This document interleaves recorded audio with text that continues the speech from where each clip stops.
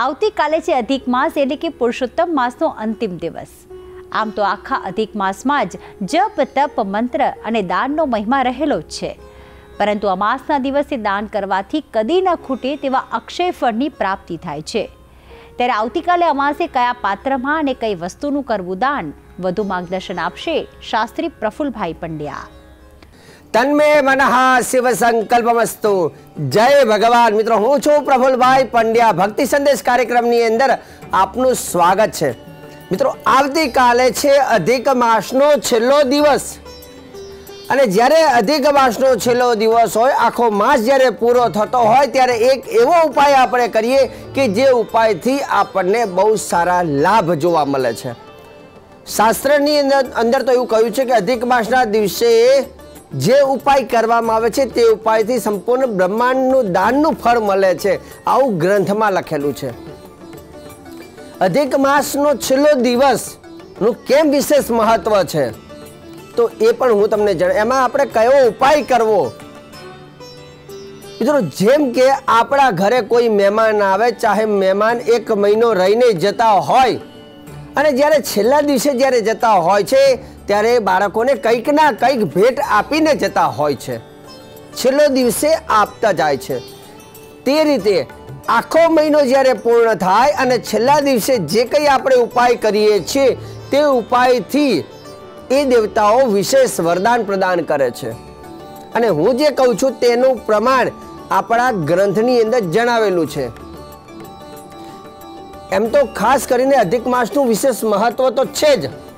અધિક માસ દેવો હમ પુરુષોત્તમ સંજ્ઞક સ્નાનમ દાનમ જપમ હોમમ સ્વાધ્યાયમ પિતૃતર્પણમ અધિક માસની અંદર પૂજા પાઠ હવન સ્વાધ્યાય પિતૃતર્પણ દાન જપ તપનું વિશેષ મહત્વ હોય છે ફક્ત અધિક માસની અંદર માંગલિક કાર્ય નથી થતા તો અધિક માસની અંદર પૂજન જપ તપ વગેરે આપણે બધા કરીએ પણ છેલ્લો દિવસ જ્યારે હોય ત્યારે વિશેષ આપણે ઉપાય કરવો જોઈએ.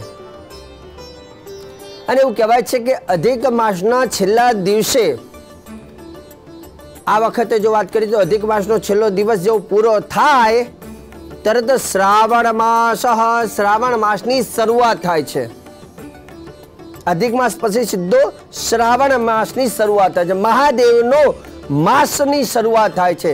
અને દેવાધિદેવ મહાદેવ તો બધા દેવોની ઉપર છે, જેથી મહાદેવ કહેવામાં આવે છે. અને જ્યારે મહાદેવનો, જ્યારે માસની શરૂઆત થાય છે, ત્યારે અમાસના દિવસે, એટલે કે અધિક માસના છેલ્લા દિવસે સમસ્ત દેવી દેવતાઓ, સમસ્ત દેવી દેવતાઓ એવું કહેવાય છે કે મહાદેવ સમક્ષ હાજર થાય છે.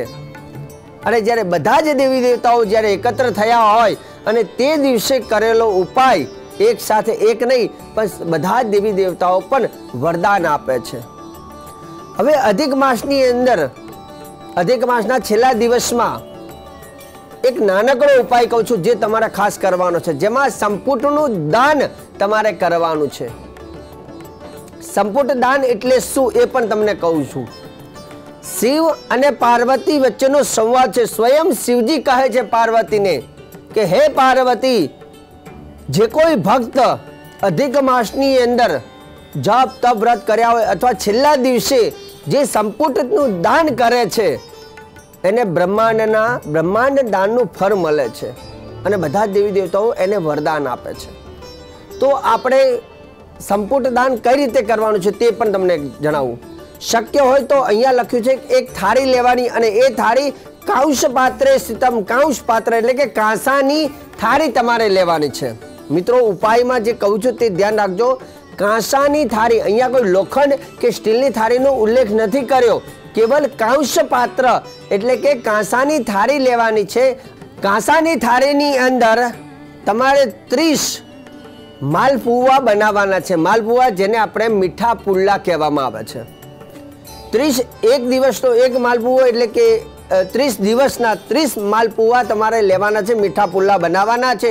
અને છેલ્લા દિવસે એક કાસાની થાળીની અંદર તમારે ત્રીસે ત્રીસ માલપુવા એમાં મૂકવાના છે, મીઠા પુલ્લા મૂકવાના છે. અને એની ઉપર તમારે બીજી કાંસાની થાળી એની ઉપર ઢાંકવાની છે. મતલબ આ ઉપાયની અંદર બે કાંસાની થાળીની જરૂર પડશે.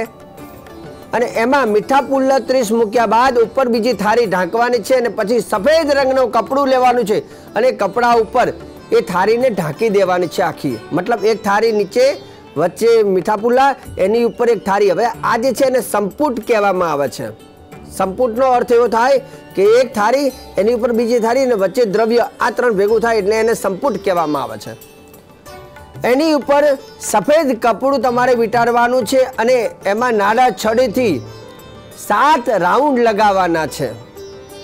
સાત રાઉન્ડ લગાવીને તમારે એ દાન કરવાનું છે કોઈ બ્રાહ્મણ દેવતાને, ભૂદેવને.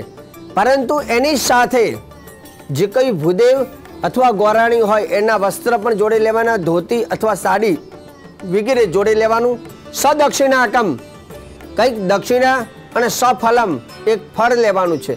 એ થાળીની ઉપર તમારે દક્ષિણા, ફળ અને વસ્ત્ર મૂકી અને તે જે કંઈ ભૂદેવ હોય ગોર બાપા હોય, એને જો છેલ્લા દિવસે, અમાવસ્યાના દિવસે, અધિક માસની અમાસના દિવસે જો તમે દાન કરો છો અને એ ભૂદેવના આશીર્વાદ લો છો તો અધિક માસનું એટલું બધું ફળ તમને મળે છે. અને સાથે સમસ્ત દેવી દેવતાઓ જે મહાદેવને મનાવવા માટે આવ્યા છે, મહાદેવનો માસની શરૂઆત થાય છે, પણ આ ઉપાય કરવાથી સ્વયં જગતનો નાથ ભગવાન ભોલેનાથ પણ ભક્તોને વરદાન આપે છે અને આ સંપુટનું દાન સ્વયં શિવજીએ માં પાર્વતીને કહેલું છે. તો મિત્રો, અધિક માસની અંદર આપણે ઘણું બધું પૂજા પાઠ, ધ્યાન, દાન, જપ વગેરે કર્યું તો હશે, પરંતુ જો શક્ય હોય તો આ સંપુટનું દાન તમે કરીને સમસ્ત દેવી દેવતાઓના એક સાથે તમે આશીર્વાદ પ્રાપ્ત કરી શકો છો. બીજા નંબરની વસ્તુ કે જ્યારે તમે આ દાન કરો છો, તે વખતે તમારે ખાલી એક શબ્દ બોલવાનો છે. ઇદમ તુભ્યમ સંપ્રદદે ઇદમ તુભ્યમ સંપ્રદદે ખાલી શબ્દ બોલવાનો છે. જ્યારે કોઈ બ્રાહ્મણને આપો છો ત્યારે કે હું તમને આ દાન આપું છું. ઇદમ તુભ્યમ. સંપ્રદતે ખાલી બોલવાથી અને ભૂદેવ જોડેથી આશીર્વાદ લેવાથી એવું કહેવાય છે કે એ સંકલ્પ અને અથવા એ આશીર્વાદથી તમને બધા જ દેવી દેવતાઓ કૃપા વરસાવે છે. તો મિત્રો, આજે સરસ મજાની જાણકારી મેં તમને અધિક માસના છેલ્લા દિવસનું ઉપાય કહ્યો છે અને આગળ પણ શ્રાવણ માસની શરૂઆત થાય છે. શ્રાવણ માસની અંદર ઘણા બધા ઉપાયો મારે તમને કહેવાના છે. મહાદેવજીની પૂજા પાઠ વિશેના, રુદ્રાક્ષ વિશેના. પરંતુ આખા શ્રાવણ માસની અંદર જે જે ઉપાયો આવશે, બહુ જ સુંદર ઉપાયો છે. તો ચોક્કસ તમે આ કાર્યક્રમને નિહાળતા રહેજો. મને આપો હવે રજા. જય ભગવાન.